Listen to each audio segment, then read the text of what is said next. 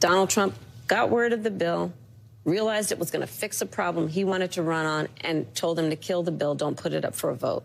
He killed a bill that would have actually been a solution because he wants to run on a problem instead of fixing a problem.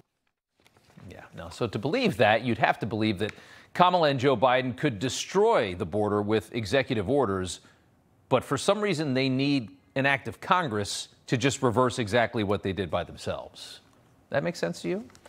Now, she tries to sell this obvious lie because if they could have convinced Republicans to actually give the administration the gift of that border bill, it would have absolved Biden and Kamala both for the unforgivable actions that they committed during the first days in the White House that they were so proud of, that they bragged about.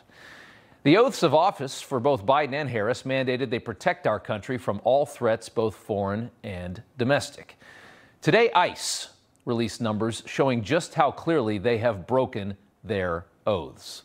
There are currently more than 650,000 illegals in our country who have criminal histories in the countries that they came here from.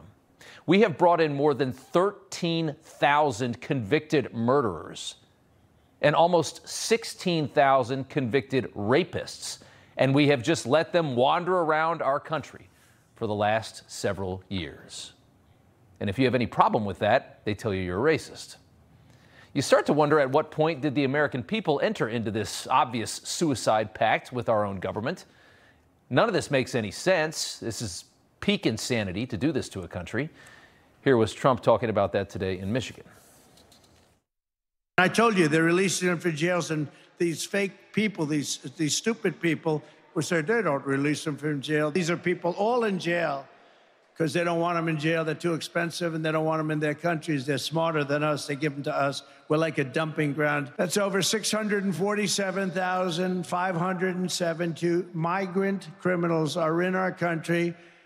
It's a killing machine. Nobody's who's allowed to do this, and nobody who's allowed this to happen to our country is fit to be the president of the United States.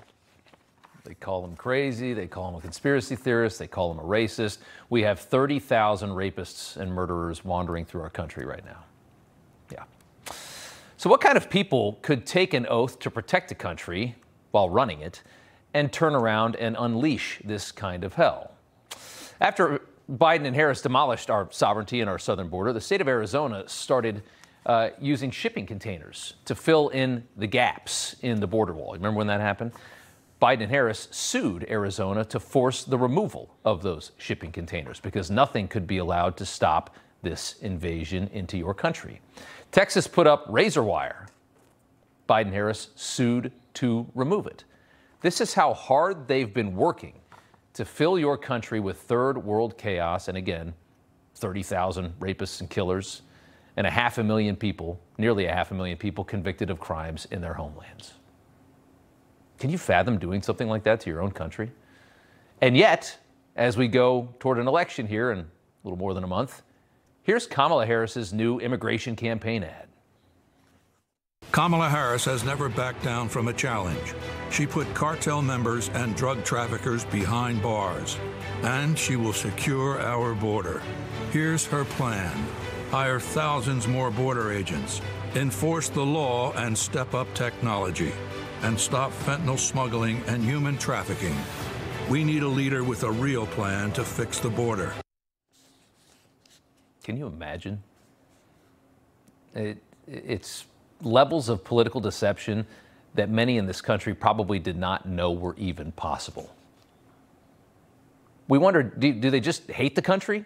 What's, what's really going on here? Do they hate the country? Are they fully controlled by the corporate lobby that's desperate for all of that cheaper labor? What is the motive? Well, it could be any of these things, but at least in part, it's also power. This is all being done to consolidate and perpetuate their own power.